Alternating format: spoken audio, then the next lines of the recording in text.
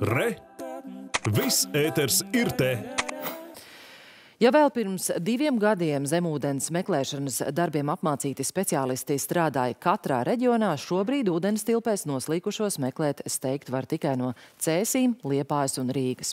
Vai ar to pietiek skaidroja Dinija Jemeļjanova?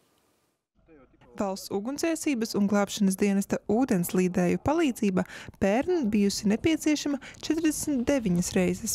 Vidēji viens izsaukums nedēļā rēķina dienesta priekšnieka vietnieks Jānis Grīnbergs. Ņemot vērā to, cik dārgi izmaksā aprīkojums, gan iepirkumi ļoti sarežģīti, gan arī apmācība un arī personāla daudzums, trūkums šī pašā segmentā, tad nu, ņemot vērā šī brīža notikumu skaitu un raksturu, mēs pat varētu teikt tā, ka varētu kaut kad nākotnē skatīties tikai uz vienu šāda veida ūdenslīdēju centru valstī. Dienestā uzsver, ka šajos gadījumos tas, cik ātri darbi tiek uzsākti, nav pats būtiskākais. Tam nepiekrīt Mārtiņš Dūviņš, ūdenslīdējs ar 18 gadu pieredzi.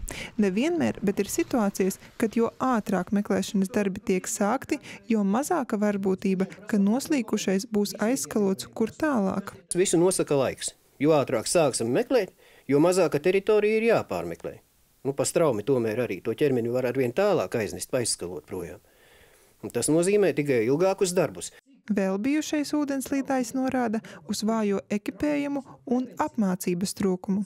Tam piekrīt arī vēl šobrīd dienestā strādājošs glābējs, kas vēlējās palikt anonīms. Jauno kolēģu darbu viņš vērtē kritiski, atsaucoties uz vairākiem gadījumiem, kad jaunie noslīkušu cilvēku meklējuši vairākas diennaktis, bet pieredzējušais kolēģis atradis mazāk nekā stundas laikā. Kaut kādi 80% no gribētājiem nemaz nevar šos darbus darīt, jo viņi neatbilst, viņu veselības stāvoklis nav atbilstošs. Tā ir viena lieta. Otra lieta ir pašu cilvēku vēlēšanās to darīt. Ja? Tad, tad eh, ne katrs var būt, ne katram ir, eh, ja arī viņš ir ugunsdzēsējs, ne katrs vēlas būt ūdenslīdējs. Ūdenslīdēji, ja viņus gribētu, viņus dabūt. Ja tas būtu, piemēram, prestiža dienestā. Viņš ir ūdenslīdējs, viņš ir mācījies, viņam ir papildus profesija. Viņš riskē ar savu dzīvību vairāk nekā vispārējie tur. Bet, ja viņš, piemēram, nostāsies, jā, ot, kur, piemēram, tajā 17. maijā parādīs dienā ar savu dēlu kopā, jā, nu, starp pārējiem ugunsdzēsējiem viņš ir ugunsdzēsējs. Pat nozīmīti nav novēlējuši. Ar hidrotērpiem un ehalotiem kvalitatīvam darbam vien nepietiek.